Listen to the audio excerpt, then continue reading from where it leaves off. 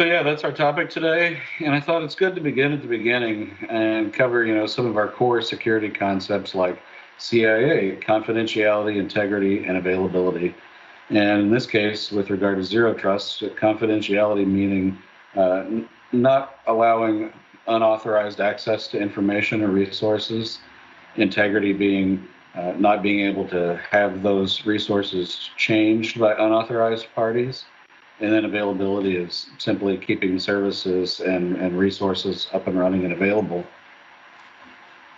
So some of the risks that we see uh, that were made the news in late 2020 and continue to make the news even today uh, as they relate to um, confidentiality and integrity are the SolarWinds incident. It has many names today. Uh, Sunburst is the malware. Solorigate is Microsoft's name for it. Uh, but I also wanted to point out uh, the Ticketmaster uh, finding and then the Oldsmar water treatment plant in Florida that you may have heard about just in the last couple of weeks. Uh, and on the availability side, uh, there were some fairly significant cloud outages, as you can see listed here, over the last three or four months. That did impact not only consumers but many businesses as well. So availability is also an ever-present concern as we head into 2021.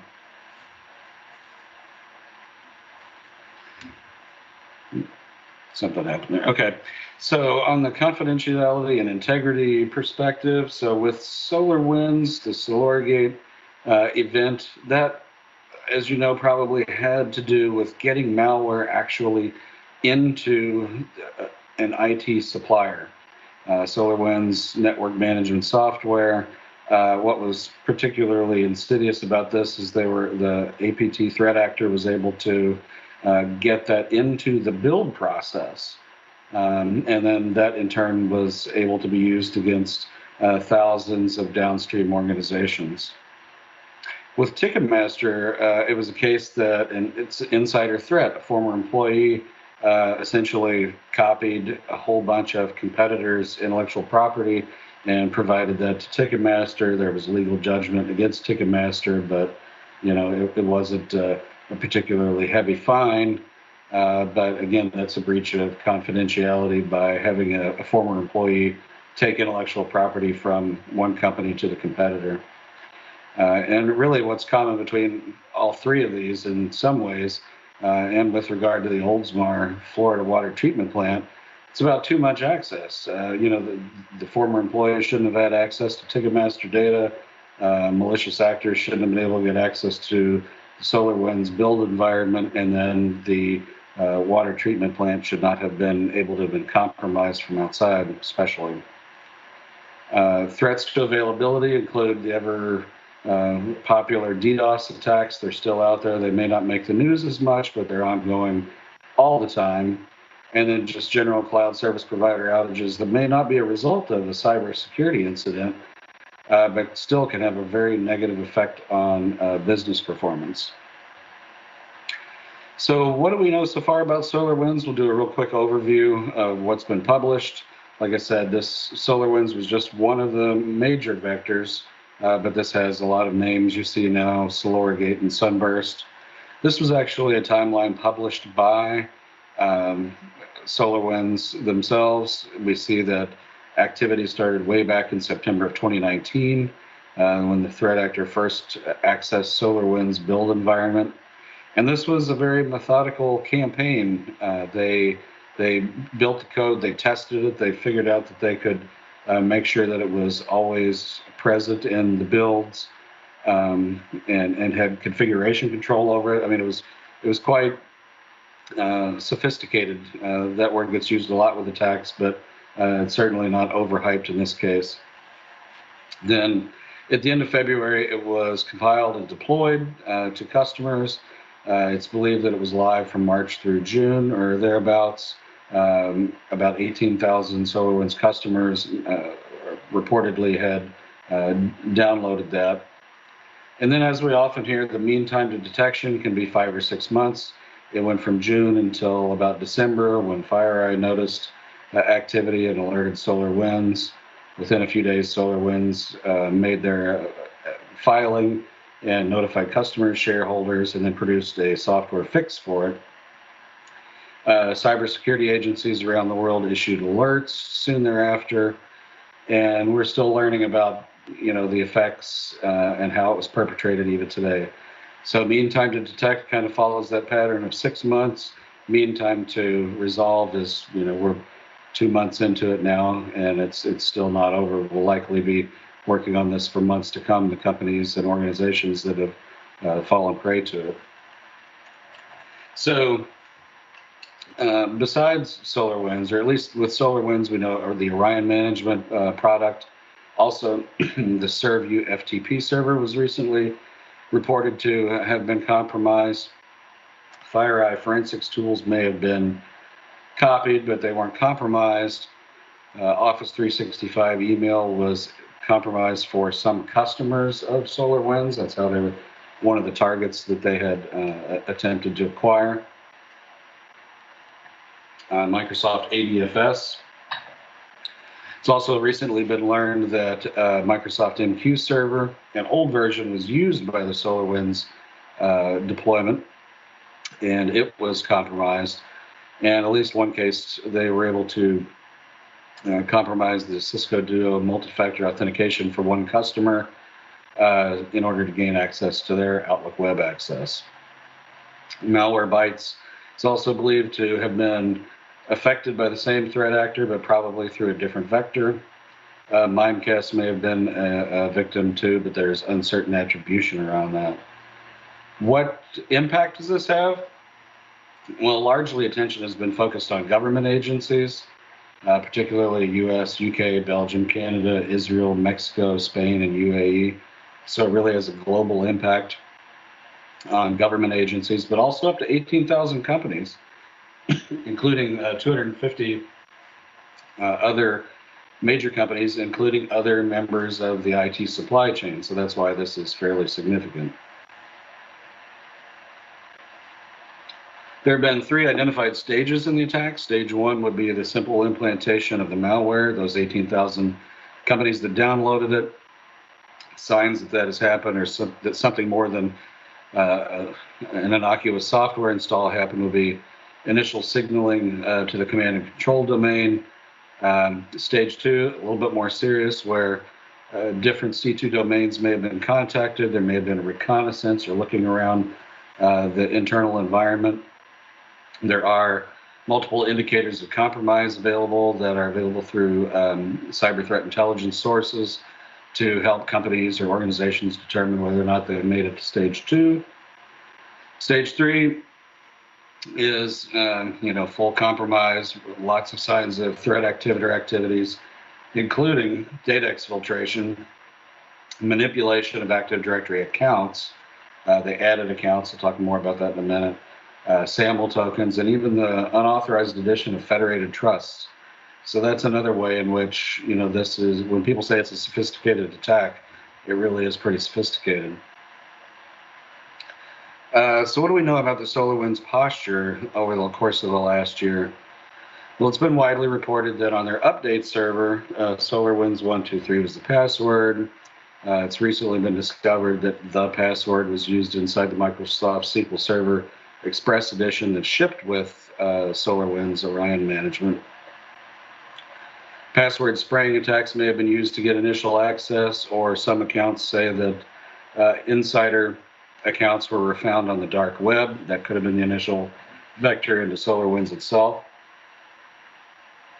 SolarWinds told customers that they should turn off anti-malware scans from the directories where it was installed. That's really a bad idea. They didn't have a CS, CISO uh, until fairly recently. And then they used out of date Microsoft Message Queue Server and SQL Express. And with those, they did not require authentication, authenticating the messages that went into the queue.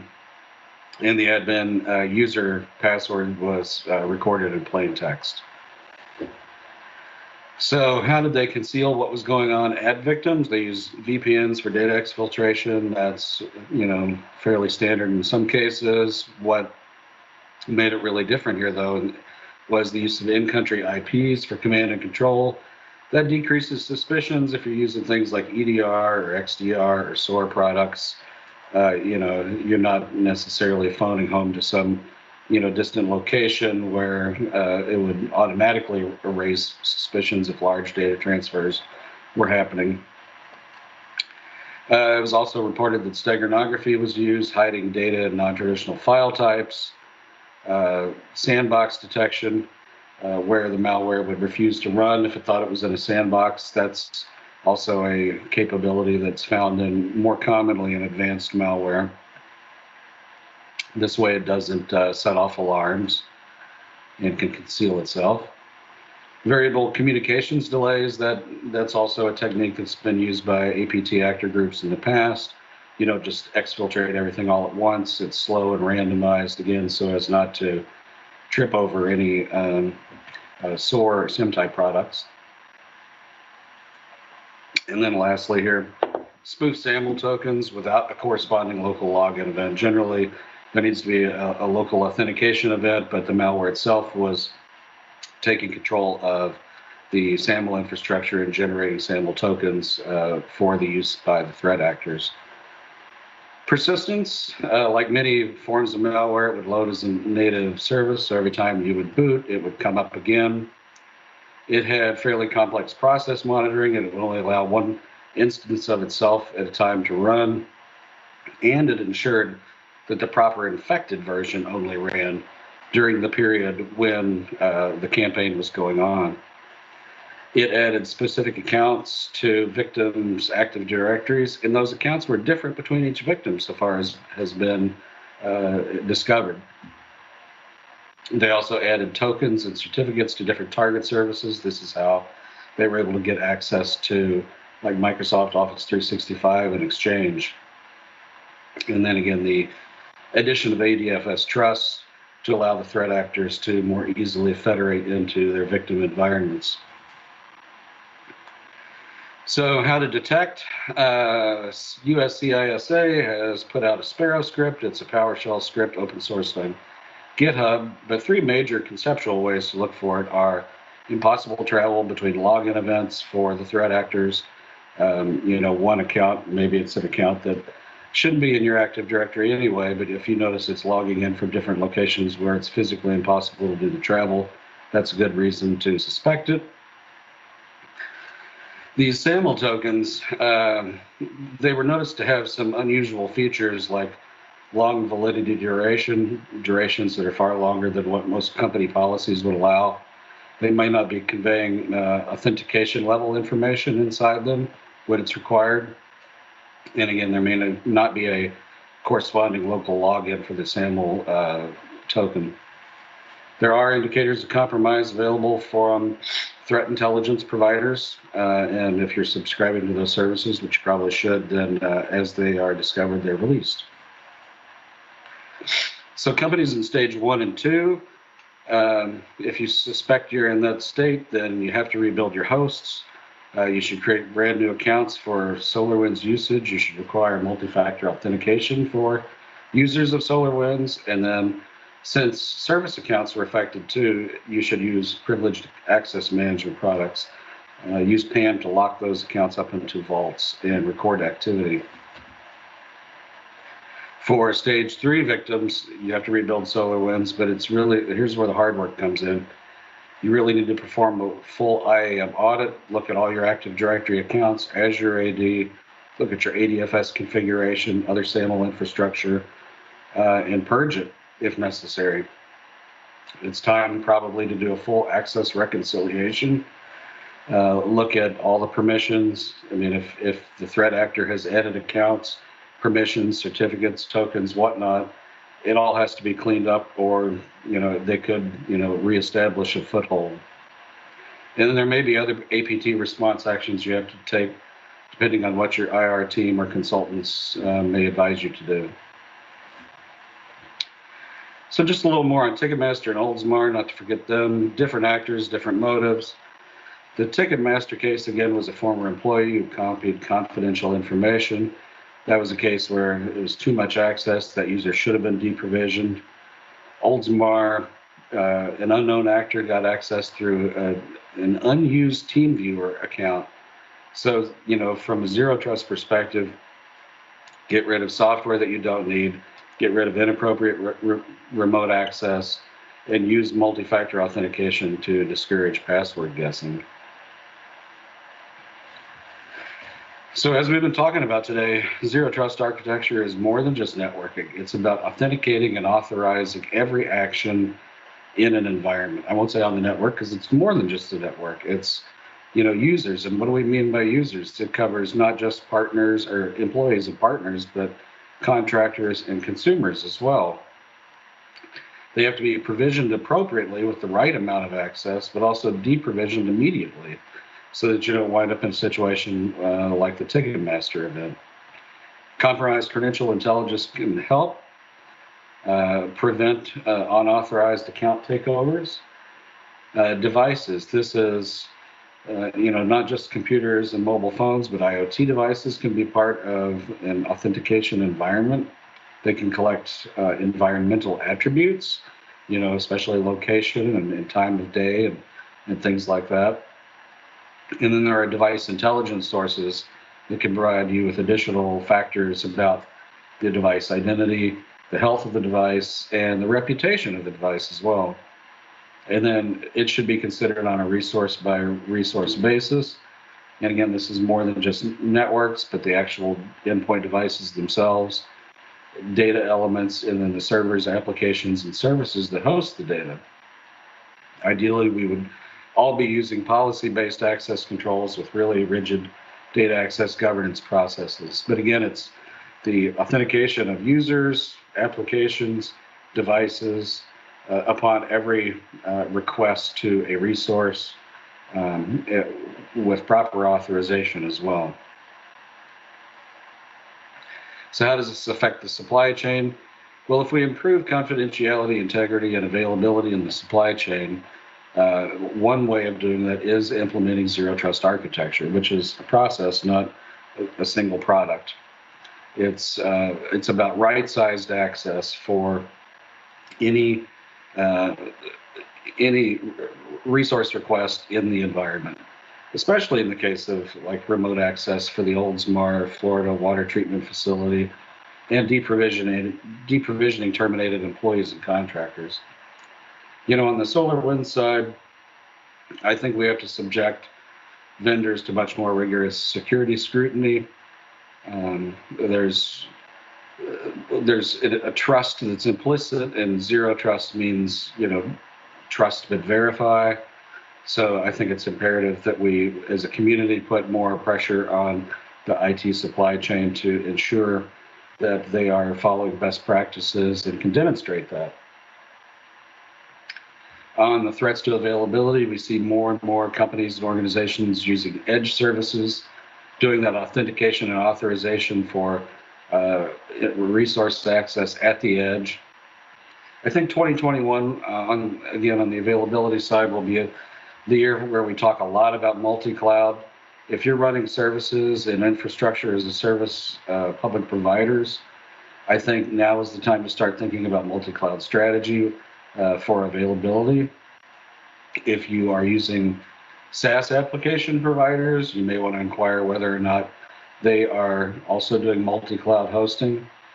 And we see on the horizon uh, multi-cloud hosted and synchronized IDaaS or identity as a service. And I think this is especially in response to cases where you have large IDPs uh, with major outages affecting business application and authentication for lots of different enterprise services. This is something that we're going to see a lot of development of in the not too distant future just to meet Uh, the availability needs of enterprises today.